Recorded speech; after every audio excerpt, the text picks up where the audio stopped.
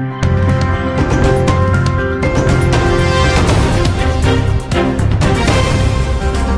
Hello guys, welcome back to Daily Entertainment Buzz right here on OdarteyGH TV. Please, if you are new here, kindly subscribe to this channel and also click on the bell icon right next to the subscribe button. And also don't forget to also drop your comment in the comment section below.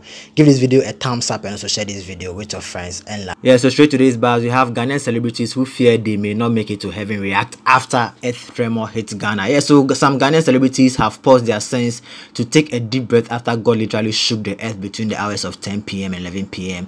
in Ghana on June 24, 2020. Yes, so Ghana experienced three severe earth tremors last night on June 24, 2020. Yes, so some Ghanaians who fear the world may be coming to an end, as predicted by Ufurian Ponsa, have reacted to the tremor which hit some parts of Greater Accra. Our favorite celebrities who felt the tremors have also taken social media to react to the strange occurrence as they feared if the world should come to an end today, they may miss heaven. The likes of Sarkodie, Joey B, Sawami here, when the Shea, Medikal, and others took to Twitter to subtly plead for forgiveness of sins. Okay, guys, let me read some of their reactions. Yeah, so Sawami here took to Twitter and she tweeted, Oh Lord, again, who else felt the earth shake? JB also tweeted, What if was that? Or maybe it's Legompe.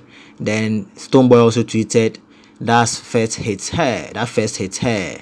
Then Sarkodie also tweeted 2020. Medikal also tweeted, Yeah, cool. Then he actually added brush emoji. Then Lomi, that's EL, also tweeted, I no feel the earth tremor some when them go do them again okay guys if you also felt the air tremor last night i felt it at my end it was that that severe if you also felt can you drop your comment in the comment section let's get interactive in there i'll see you guys in the next video peace